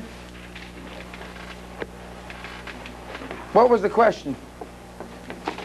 What were we gonna do with what we're How does this apply to me? No. No. What, what do we have to do? To what? To, yeah, to, to, to go on with our plan, with what we learned here. What price are you willing to pay? Pay. Very good. Okay. What price? What price does the the um, make your stomach turn up inside you? At what price? We're going to start at the back of the room. Burl, what price are you willing to pay? And she's already made about, you know, a, a quantum leap.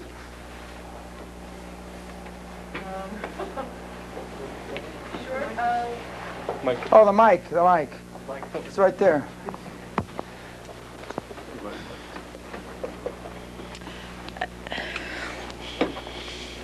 There is no price that's too high. Ooh, I like that answer.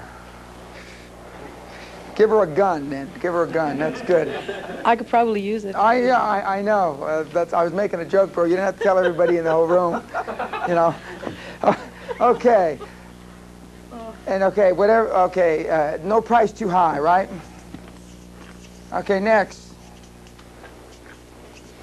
And I don't want the bullshit answer that the answer that you know that do you want because I know she meant what she said. I want the real answer. You notice he puts in the bullshit caveat before it gets to me. Um, I have some in my blanket. I think the scariest thing for me at this point right now, and that's the question, right? What would you not want to do? And therefore, what are you prepared to do? Um, is to take this job, this radio show job, and uh, and be prepared to quit, outright leave, quit that job. Because tomorrow morning, when two million people read that paper, including Geffen and Spielberg and everybody else, my boss is not going to like me very much on Monday morning. Because if today, Talking about your exit strategy a little early then. if today what he's paying me isn't enough, then by Monday it certainly isn't enough. But it doesn't matter what the moron's saying. You already told me your boss is a moron. Right. Oh, absolutely. Sure. Yeah, okay, I mean, But the, the price would be to, uh, in a very un-Mexican way, okay, uh, to, in a very, a way that you never tell your Mexican grandmother about, quit a job that has elevated you to this point in a very irrational way. So, and, and to be jobless for, you know, two hours, two years, whatever. closer to two hours in two years, I'm sure. But you're right. That that's the. Um,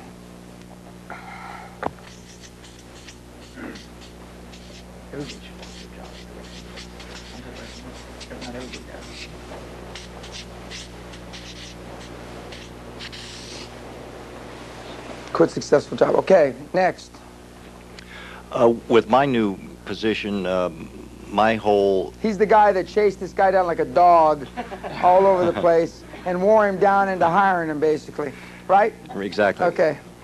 Um, I make a whopping uh, $500 a week, which I can't live on. So my balls are to the wall, and uh, I have to perform to, to exist.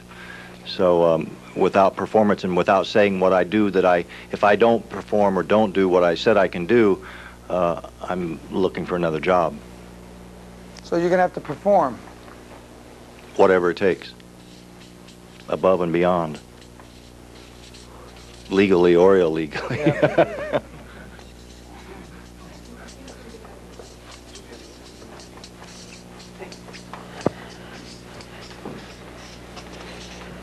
at whatever it takes is a good answer almost for anybody in this room. But uh, he, he quantified his. Next, please. Well, in my company, I'm already one of the top producers, so my intention is to be the top producer. In order to do that, I'm going to continue getting up at uh, 4 or 5 in the morning and going to bed at uh, 1, 2 in the morning. But that's just the tip of the iceberg. What I really have is a list of intentions that are very, very uh, well honed, laser beamed focus, and uh, my intention is to do whatever it takes to realize those. And that changes from day to day. So it's actually being able to be creative daily, creative in the moment, and uh, flexible as well as focused.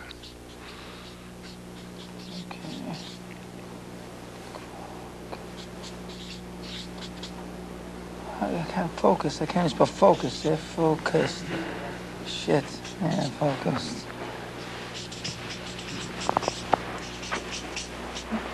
We're going to abbreviate whatever, W-E-I-T. So I don't keep writing it. Okay. Jim.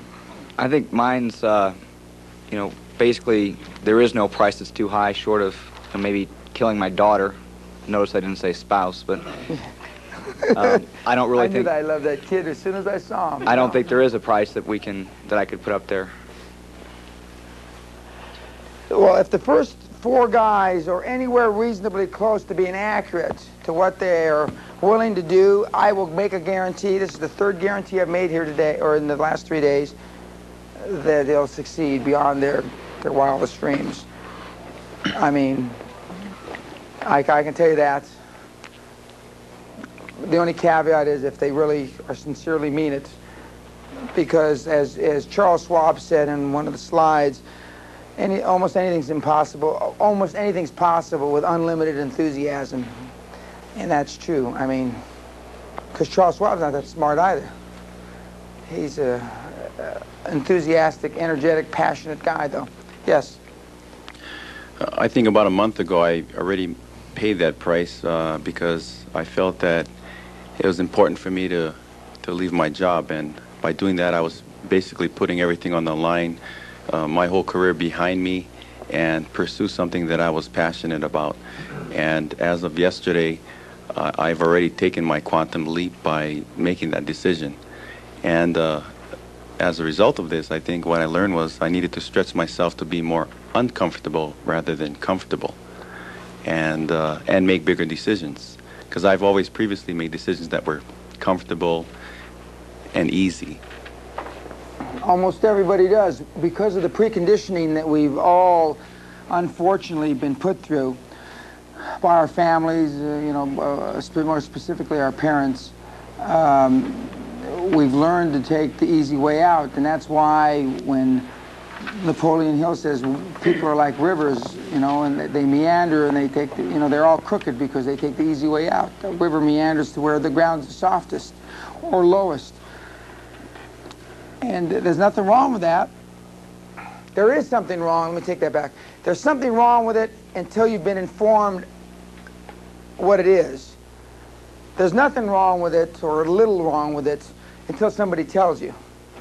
See, you're armed with a lot of knowledge, and one of which is if you really start to act like you don't give a shit what anybody thinks of you, that alone, you'll make so much money you won't be able to count it.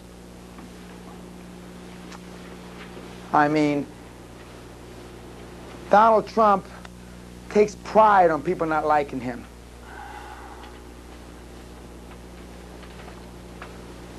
I, I can't begin to tell you how you're empowered over your competition, over your fellow worker, over your colleague. And again, I'm not talking about doing it in an unprofessional, uh, seemingly ruthless manner. I mean, because you can just listen to, you know, that's fine, uh, in, in one ear and out. You know, just like, like you do your spouse. You know, how it goes in one ear and just floats through your empty head into the other. Out. You know how you do with your, you know, your children do to you? That's all I'm asking you to do. I'm not asking you to be a shithead or anything. Oh, yeah, yeah, honey, sure. And just go on take care of business. I mean, that's not so bad. I mean, you do it every day anyway. Yeah, it's more fun. More fun being a shithead, he says. Okay, next. Doc, what do you got to say? Right now, I'm not really working on anything, but um, once I find something that I can feel the real passion for, I'm, I'm willing to do whatever it takes. That's an excellent point. Unless you feel the passion, don't be wasting a lot of effort on these things. That's an excellent point. You may not find, you may already have found it. You may not find it for a week, a month. But don't be doing all these things until you find that thing that you can be passionate about. That's a good point. Sir. Well, before I got here three days ago, I thought that I was willing to do whatever it takes. I proved it over the last year. Now I know without a question of a doubt that I'm willing to do whatever it takes. My wife uh, validated that last night. She joined me after my first two days here. She said, It's scary. You're almost cold. And I was. I mean, I, I don't want to associate. I've been getting that way anyhow. It wasn't just from these two days, but they, they finished it. They really did. Well, if, if these three days don't put a stake in the heart of your, of your wussy, uh, wimpish attitudes about business, boy, because it's a jungle out there, and all these airy-fairy guys that run around and say it's not haven't made any money. I mean, these guys that I've alluded to for the last two and a half days are assassins. These guys would rip your heart out and use your rib cage platter. And the two or three successful businesswomen I know are even worse. And I mean, this balanced life, airy fairy carted by the sea just is not possible. Just isn't. So that's good. I appreciate, I appreciate everything. Good. Thank you. Bruce. Anything as long as it's uh, legal, ethical, and moral, starting with uh, ending the relationship we've talked about as soon as, as soon as I humanly can. He sent me a little note of these five things he wanted to do, and the, the note, I read it, uh, I forget either last night or this morning, and he said it was on the back of a five credo card, and it was um, to grow the business, uh, I think uh, 100 billion in revenue, 30 billion in assets, or something like that, and, and end a relationship with a, uh, with a business associate, and, uh, and do whatever it takes, and the, as soon as you possibly can and uh, because it's easy, especially real hard decisions, it's e- always easy to procrastinate about. It's my, it's very easy to get wishy-washy, and um, and that's human nature. Again, it's our preconditioning. You know, the um, it, it often amazes me how anybody can winds up being successful with the training that we get from our parents and and schools. I mean, it just it, it boggles my mind that anybody ever gets to be anything. Uh, and the uh, I asked the, uh, asked the question, or somebody asked me about leadership classes in college. Now, some of the better B schools do have leadership classes, uh, and, um, and, so, and but most of them don't, as far as I know. I think the Kennedy School uh, does, and I think maybe uh, Wharton does, and a couple, half a dozen others, maybe maybe Stanford does. I don't think Anderson does here at UCLA, but.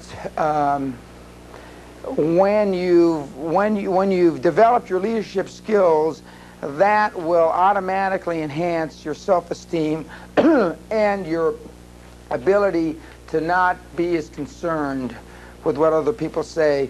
Norman Schwarzkopf, when he told them that they were going to attack Kuwait around the, the going around the whole country and come in from, I believe, the north northwest, and have his uh, supply lines expl- ex, um, dispersed dispersed over 350 miles, which is that's not the way you win wars. You know, I've been to Command and General Staff School. That's not the way you win wars. You keep your supplies tight behind you. You don't spread them out over 350 miles and then get the hell knocked out of them. And all his Air Force people, all these guys that he had gone to school with and been, you know, on the Joint Chiefs staff and known all these, they all told him he was nuts. But he said it's either my way or the highway until the president relieves me, which I think he almost did. the, and but the leadership, you don't, you're not as concerned because you, you, you know you got to take the heat. And part of being a high performance person, ladies and gentlemen, is when things go wrong, all the heat falls on one person. That's another reason that there's so few high performance people because all this shit rolls downhill. Always have, always, always has, always will be. Always will, excuse me. You know? Just that's why President Bush was, you know, he's a hero after the war, the uh, uh, Iraqi war, wasn't he? Because he got all the glory. If they, we had lost 300,000 guys and everything, boy, they would have impeached his ass.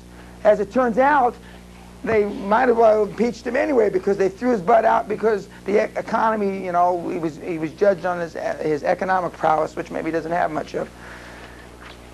It's lonely up there. Okay, next. Well, like Jay said, we do have a successful business, and I know that I'm ready to get rid of it if that's what it takes. Uh, my daughter called last night, and uh, I'm not going to get rid of Jay, but she, I, I told her that uh, we were going to start making money a different way, and she said, "Well, how?" And I said, "I don't know that, but I'm, I'm going to find out." And she said, "Well, has my dad woken up?" And I said, "Yeah, he has." And what the next step is, I don't know, but I, I just know we're going to find a manager as soon as we're home, and we're going to start something else. That's great. See, quantum thinking, they're going to start something else. You know, spin in a completely different direction. I mean, uh, well, she's sitting in the back now, but the, the young lady that was sitting up here in front, I got to get out. I, there used to be a song, I got to get out of this place. No matter what the hell, remember back in the 60s or 70s? I mean, and sometimes, a lot of times, that's what it takes. And it, I mean, if you're the most successful VR broker in the country five years in a row, not much place to go. I mean, uh, at the very top. And uh, other than down, and, and uh, like when people used to say when we were the fastest growing uh, energy company five years in a row, I mean, where are you going to go? I said, well, we're going to be six years in a row. As it turned out, we weren't six year in a row. But no, that's good. Yes, sir. Well, on the first day, I said that I, I really had become aware of the need to, of the fuzziness of my own vision and the fuzziness of my focus.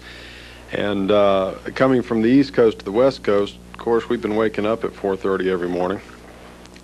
Uh, but this morning at uh, at 4:30, I was tossing and turning in bed, and uh, finally had to get up because it was just burning in my gut.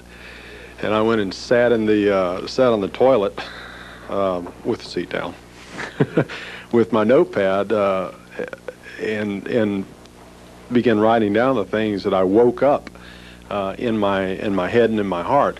And for me, I the complacency is not there. Uh, for me, it's to stop caring about the morons, which uh, today I've already had several opportunities to uh, exercise and uh, to keep the passion, uh, literally eat, sleep, and uh, uh, live the live that focus, and keep the burn there.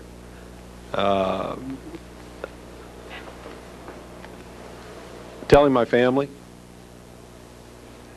and uh, taking the charge there, which I'm already doing because we're staying another day. D- hey, honey, guess what? but uh, so. and on top of it, the uh, the, the gentleman from the the, the Legrand Group, uh, uh, I'll probably be seeing every four to six weeks next year, and they're going to come and they're going to see me a week at the castle, and so they're going to be getting double, triple, quadruple doses.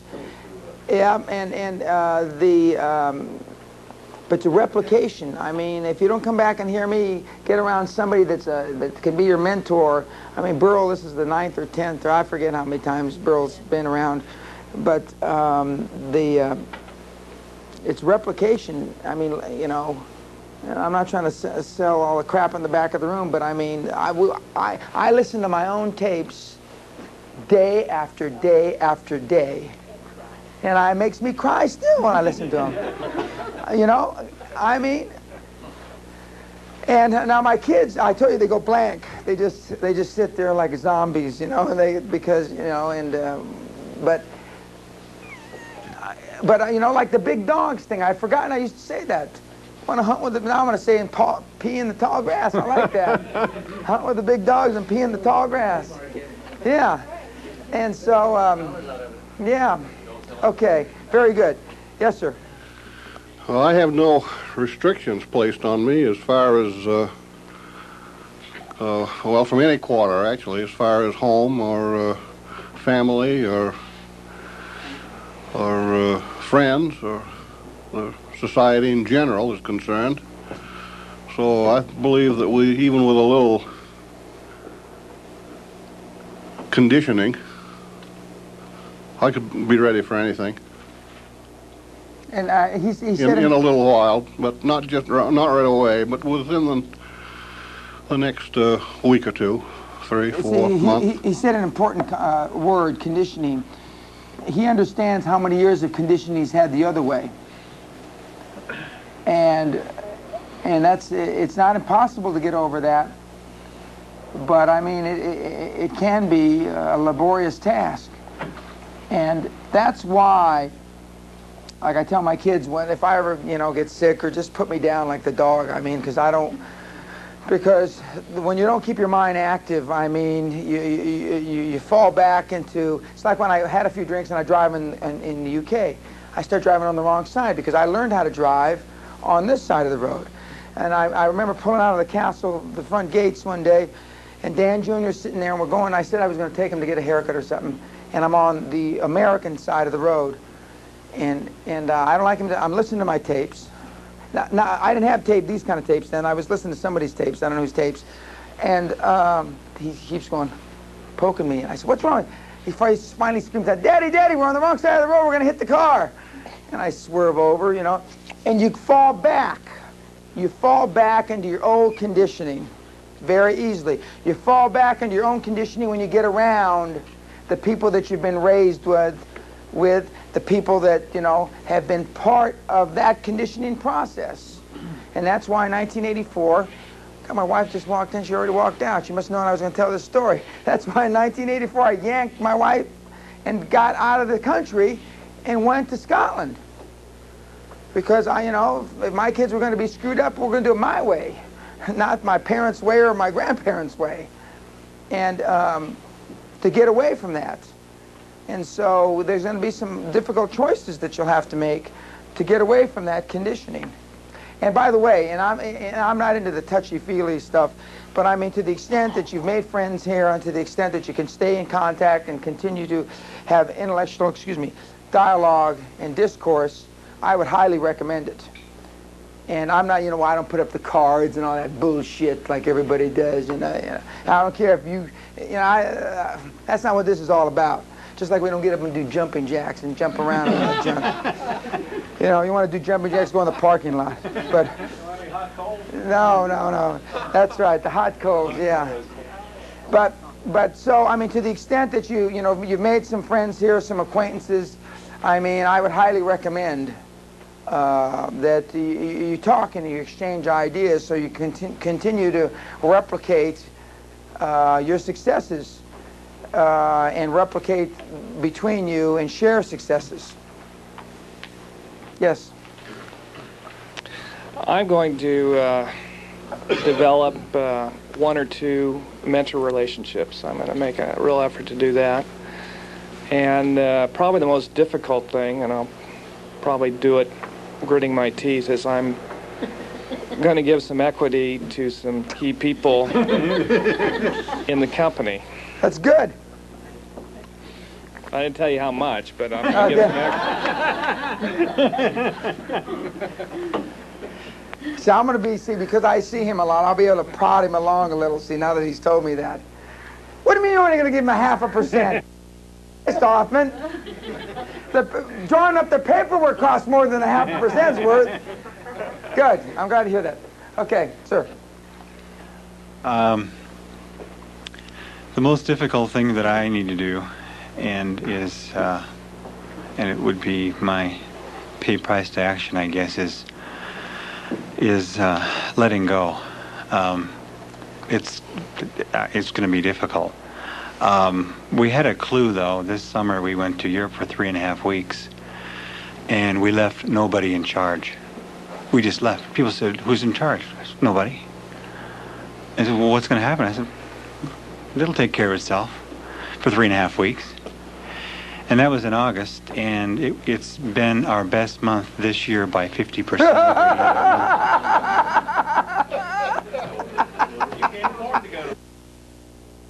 You know, that says it all.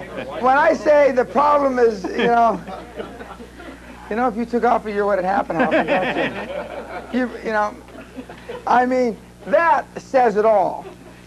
Hey, have we got, if you would, if you, if you could say that directly in front of the camera after this thing, because that says it all. I mean, that's exactly what I'm talking about. We is the problem.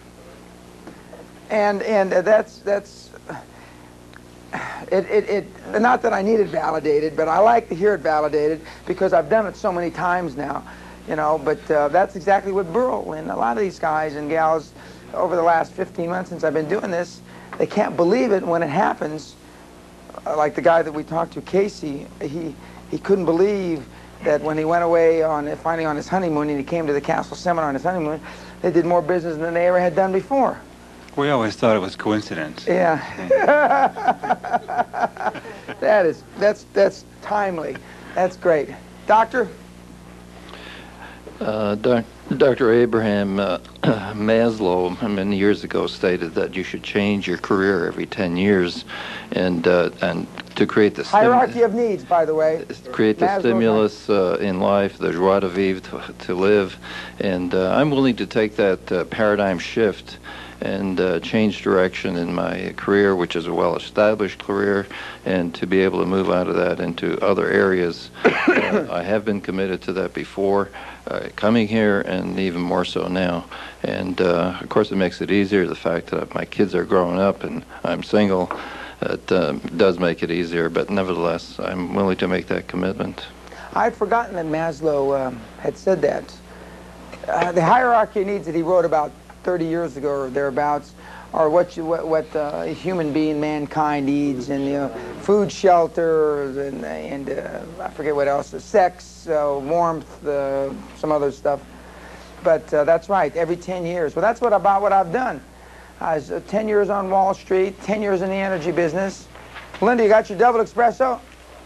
Yeah. 10 years on, uh, you know, um, in Wall Street business, uh, 10 years in the energy business, and now I'm on my third 10 years. I hadn't really thought of it that way. But, um, and it's interesting, when I walked away from my Wall Street firm and when I walked away from the energy business, I never looked back. With all the success I had in both places, I never looked back, and I just thought it was time for me to do something new. Yes?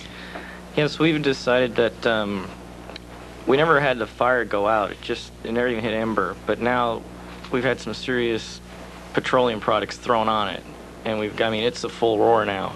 Um, our, we're not complacent anymore. We're seeing where we have to go and what what it has to take to do it. I kind of knew what I needed to do, but I found out that I really was too dependent on a lot of the things that we've discovered here that we need to cut and move on. And I don't have a problem doing that. And it's going to happen. It's just now dreaming the bigger dream and setting those goals that I won't achieve in a lifetime and using the laser beam focus and getting that passion to go and do it.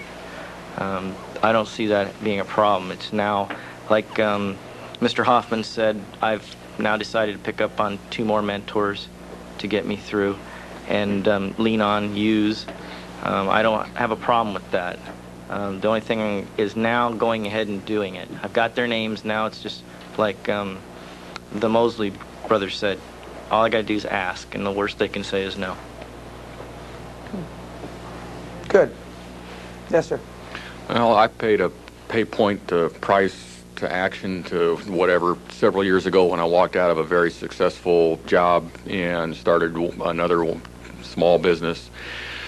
Uh, over the last two years, I sat up, and if you want to talk about pride of authorship, after two years, I've built the absolute bottom line best construction estimating program there is anywhere.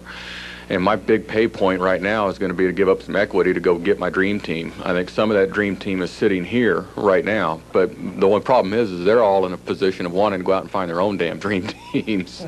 so I've got to figure out a way to go find a dream team and then figure out how to release that so that I've got 50% of something that's outstanding and, and, and has a huge growth potential as opposed to having 100% of something that I can't move because I don't know enough about it. I mean, I need the dream team bad.